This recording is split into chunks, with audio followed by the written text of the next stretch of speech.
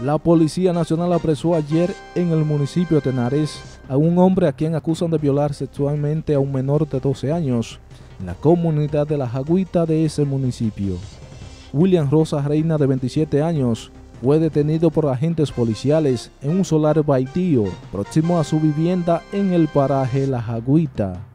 El apresamiento se produjo a eso de las 3 y 30 de la tarde de ayer, luego que supuestamente violara al menor, cuyo nombre se omite por razones legales.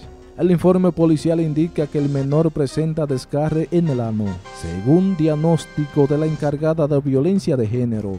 El prevenido será puesto a la disposición de la justicia en las próximas horas, informó este lunes la institución del orden. NTN, Robinson Blanco.